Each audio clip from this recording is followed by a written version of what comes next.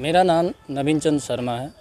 मैं ग्राम अलचौना तोड़ ताड़ा में रहता हूँ, ज़िला नैनीताल, उत्तराखंड। मेरे को हाँ ये पंद्रह अगस्त में दिल्ली में आमंत्रित किया गया है प्रधानमंत्री द्वारा। तो मैं आभार व्यक्त करता हूँ और मुझे बहुत खुशी हो रही इस पल का। आगे को भी ऐसा अवसर मिलता रहे।